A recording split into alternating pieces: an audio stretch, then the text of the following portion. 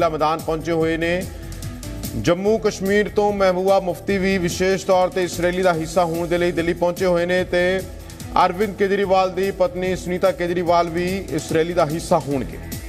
ਸੋ ਅਰਵਿੰਦ ਕੇਜਰੀਵਾਲ ਦੀ ਗ੍ਰਿਫਤਾਰੀ ਦਾ ਵਿਰੋਧ ਜਿੱਥੇ ਲਗਾਤਾਰ ਕੀਤਾ ਜਾ ਰਿਹਾ ਹੈ ਉੱਥੇ ਹੀ ਆਪੋ ਆਪਣੇ ਢੰਗ ਦੇ ਨਾਲ ਰੋਸ ਦਾ ਪ੍ਰਗਟਾਵਾ ਵੀ ਦਿੱਲੀ ਦੇ ਰਾਮਲੀਲਾ ਮੈਦਾਨ ਦੇ ਵਿੱਚ ਕੀਤਾ ਜਾ ਰਿਹਾ ਹੈ ਇਹਨਾਂ ਵਰਕਰਾਂ ਦੁਆਰਾ। ਲੋਕੀ ਸਪੀਡ ਸੇ ਆ ਰਹੇ, ਇਤਨੇ ਲੋਕ ਹੈ और वाकई में बहुत खुशी है इतने सारे लोगों को देख के क्योंकि कहीं ना कहीं मैसेज ये ज़रूर उन लोगों तक पहुंचेगा जो कि लोकतंत्र को ख़त्म करना चाहते हैं। मुख्यमंत्री की गिरफ्तारी का एक मैसेज जो है वो देश तक पहुँच रहा है? बिल्कुल आप देख रहे हैं ये तो इतने शॉर्ट नोटिस पे इतनी भारी संख्या में लोग घरों से बाहर निकले हैं तो ये संकेत और ये मैसेज और ये आवाज़ बिल्कुल साफ़ है कि लोकतंत्र को बचाने के लिए पूरे देश भर से लोग सड़कों पे उतरेंगे। बीजेपी कह रही है कि 12-13 साल पहले यहीं से जो है कांग्रेस को कांग्रेस खिलाफ बोलती थी आम आदमी पार्टी आज उन्हीं के साथ बैठी है। ये तो लोकतंत्र को बचाने के लिए की बात कर रहे हैं हम। ये किसी पार्टी या किसी व्यक्ति विशेष की बात नहीं कर रहे हम। क्योंकि जब डेमोक्रेसी को बचाना है तो सबको साथ आना पड़ेगा। कल उसी तरीके सर आपको भी बुलाया गया था। तो क्या रहा सर क्या कहना है इसको लेकर कल आपको भी समन किया गया था ईडी से? ये वो तो मैंने कल बताया है पूरी मीडिया को कि जो सवाल ईडी के थे वो मैंने अ, जितना मुझे पता है वो सारे बताए और अ, मैं तो यही कहूँगा कि सच की अ, जीत होगी पक्का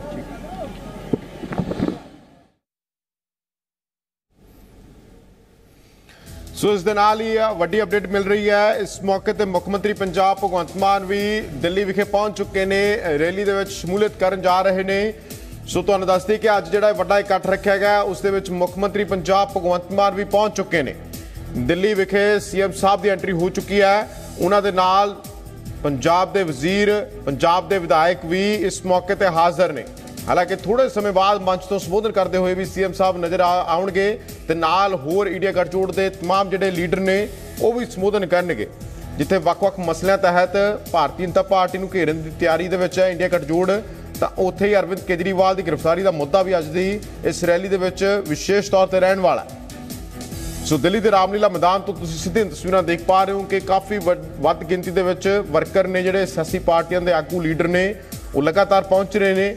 ਆਪਣੀ ਸ਼ਮੂਲੀਅਤ ਦਰਜ ਕਰਵਾਈ ਜਾ ਰਹੀ ਹੈ ਤੇ ਬੀਜੇਪੀ ਤੇ ਸਿਆਸੀ ਨਿਸ਼ਾਨੇ ਸਾਧੇ ਜਾ ਰਹੇ ਨੇ। ਲੋਕਤੰਤਰ ਨੂੰ ਲੈ ਕੇ ਜਿੱਥੇ ਕਾਫੀ ਖਰਚੇ ਪ੍ਰਗਟਾਏ ਜਾ ਰਹੇ ਨੇ ਕਿ ਲੋਕਤੰਤਰ ਇਸ ਮੌਕੇ ਤੇ ਜਿਹੜਾ ਹੈ ਬਚਾਉਣ ਦੀ ਲੋੜ ਹੈ।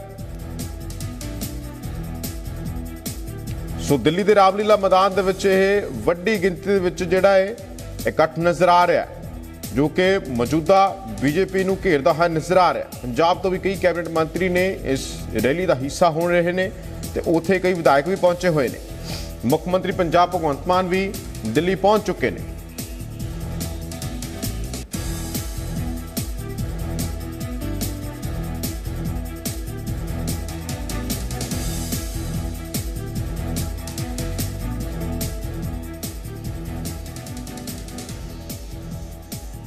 ਸੋ ਸਿਆਸੀ ਜ਼ਮੀਨ ਪੱਧਰੀ ਕਰਨ ਦੀ ਕੋਸ਼ਿਸ਼ ਕਰ ਰਹੇ ਹੈ ਇੰਡੀਆ ਗੱਠਜੋੜ ਲੇਕਿਨ ਦੂਸਰੇ ਪਾਸੇ ਭਾਰਤੀ ਜਨਤਾ ਪਾਰਟੀ ਵੀ ਇਸ ਚੀਜ਼ ਦਾ ਦਾਵਾ ਠੋਕ ਰਹੀ ਹੈ। ਪੀਐਮ ਮੋਦੀ ਨੇ ਵੀ ਦਾਵਾ ਕੀਤਾ ਕਿ ਇਸ ਵਾਰ 400 ਤੋਂ ਪਾਰ।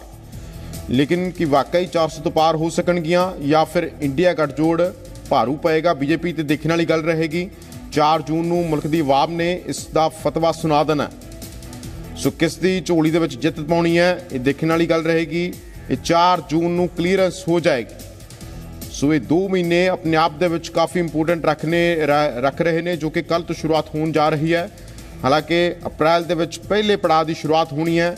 ਸੱਤ ਪੜਾਵਾਂ ਤਹਿਤ ਲੋਕ ਸਭਾ ਚੋਣਾਂ ਦੀਆਂ ਵੋਟਾਂ ਪੈਣੀਆਂ ਨੇ। ਲੇਕਿਨ ਉਸ ਤੋਂ ਪਹਿਲਾਂ ਇੰਡੀਆ ਗੱਠਜੋੜ ਦੀ ਇਹ ਰੈਲੀ, ਜਿਸ ਦੇ ਵਿੱਚ ਆਪੋ ਆਪਣੇ ਪੱਧਰ ਤੇ, ਆਪੋ ਆਪਣੇ ਤਰੀਕੇ ਦੇ ਨਾਲ ਪ੍ਰਦਰਸ਼ਨ ਕਰਦੇ ਹੋਏ ਨਜ਼ਰ ਆ ਰਹੇ ਨੇ।